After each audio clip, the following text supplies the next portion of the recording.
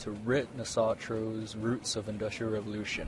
The Industrial Revolution was characterized by numerous technological advancements in the use of electricity and steam that primarily influenced the fields of communication, transportation, and agriculture. A period of population and economic growth, A.E. Musson's article cites that the Industrial Revolution fostered the widespread replacement of the use of manual labor by new inventions or machinery in various industries. The Florida International University asserts that this shift in the manner of production pushed modern societies into a more urban, production centered environment. This change distinguished the advancements made during the period of Benjamin Franklin, which used the brute force provided by animal and human activities as primary source of energy.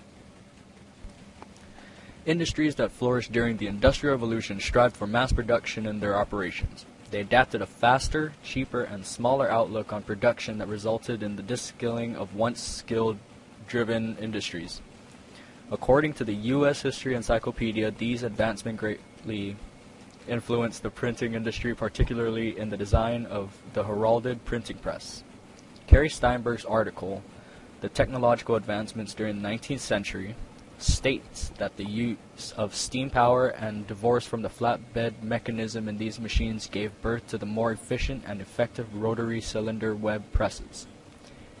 In mechanizing printing, it had transformed the layout and appearance of published materials. Typesetting underwent transformation with the emergence of line casting machines.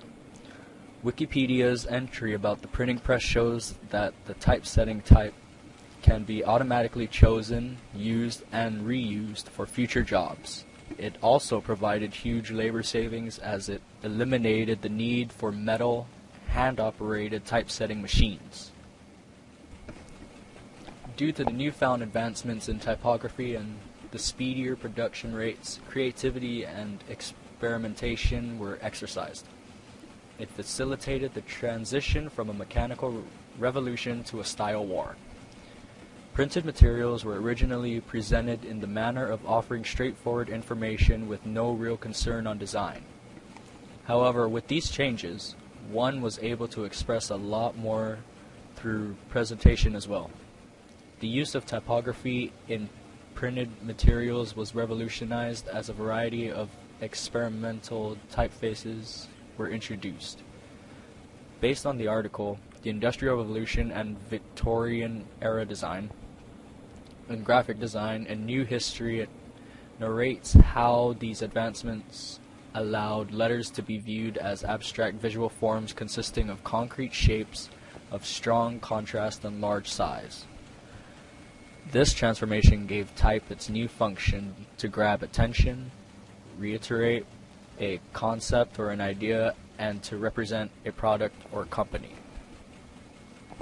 in the Communication Revolution by Mary Bellis, she cited that these developments in the printing industry had a huge impact on education and lifestyle, which resulted in higher literacy rates and increased efficiency in book and newspaper production.